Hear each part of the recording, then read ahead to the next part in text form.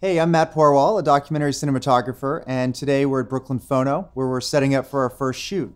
So I wanted to talk about the C300 Mark II and some of the options that we have with resolution, with color space, log gamma, things like that. So let's just jump right into it. So for the majority of the projects that I'm shooting now, I really have two different options. I'm either going to finish the project in full HD or I'm going to finish the project in UHD.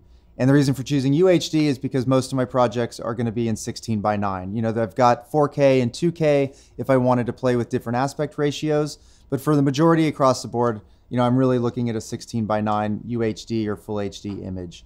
So if I'm choosing to finish in full HD, I've got a couple different options that I might choose. If I go into my resolution, the first is I might choose this UHD 422 10-bit. And what this does is this gives me the ability to crop or reframe some of my images whether it's an interview or things like that, or I can go in and do some post-production stabilization as well. So shooting in UHD just gives me a little bit of flexibility in some options that I have in post-production while still finishing in full HD. So the other option that I have is if I'm finishing in full HD is I can choose a variety of different options for my 1920 by 1080.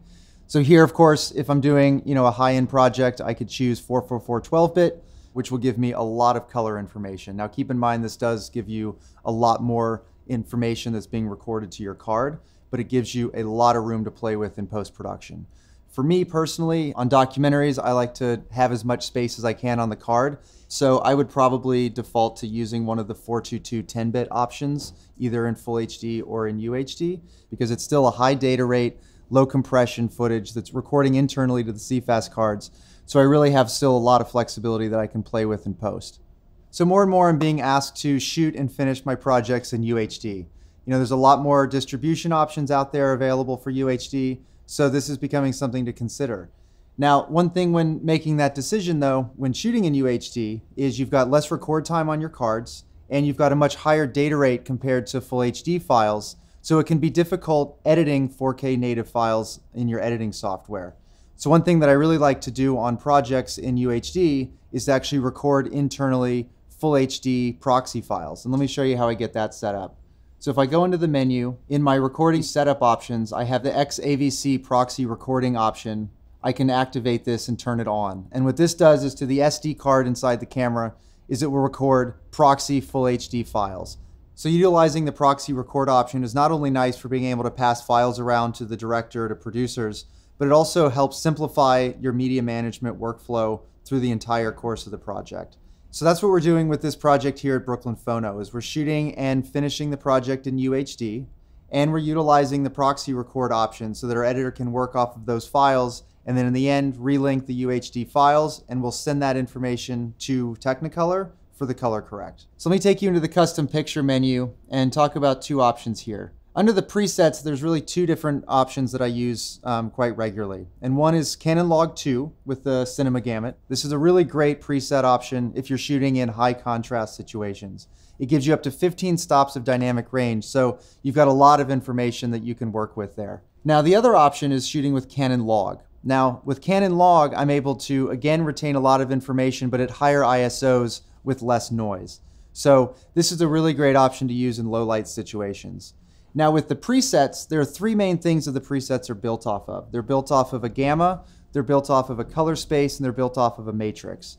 With the Canon Log 2, with the Cinema Gamut, it's working off of the Canon Log 2 gamma in the Cinema Gamut color space with a neutral profile for the matrix. Now, with the Canon Log preset, this is working off of the Canon Log Gamma curve with a Rec 709 color space. This is a really great option if you're trying to match to other Cinema EOS cameras. Now, I had a conversation with Technicolor, who's going to be doing the color grade on this project, and you can see that conversation in another video.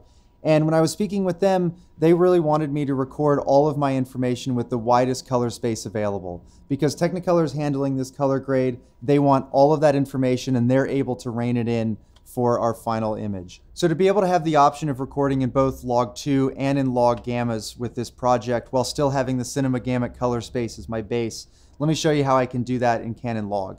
If I go to my preset and I turn this off, I now have the option of going into the main settings and adjusting all three of these baseline options. For the gamma, I'm going to choose Canon Log, but for the color space, instead of having the Rec 709 that I would have in the preset, I'm now going to choose Cinema Gamut.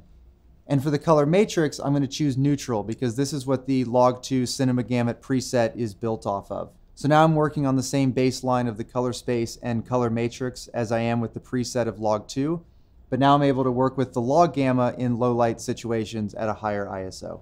So one thing to consider is if you're in your custom picture and you turn the preset off and you create your own look, you might not be able to push a LUT out of the camera to external devices, but of course you do still have the option on certain devices to load a LUT into that monitor.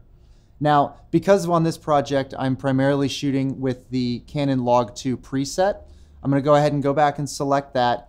And while I'm recording my proxy files, I do have the option of putting a LUT onto my proxy. So if I come down to the recording and media setup menu and I go into my XAVC proxy recording, here I can apply a LUT to the proxy. And I'm gonna go ahead and put the BT709 LUT onto my proxy. Now this is really nice. So when the editor brings in the, the proxy files to do the edit, they're not looking at a flat image because a lot of directors really don't like looking at a flat image when they're editing their project. So here, the editor is not only to see a nice image, but they're also able to see the same image that I'm viewing when I'm shooting my project. And then when we take this and relink with the UHD native files that are shot in Log2 Cinema Gamut, we're able to send that to Technicolor and they're gonna do the color correct based off of those files. So I hope that's given you some nice insight into how I set up my camera for resolution and custom picture settings. Uh, please check out our other videos for the C300 Mark II.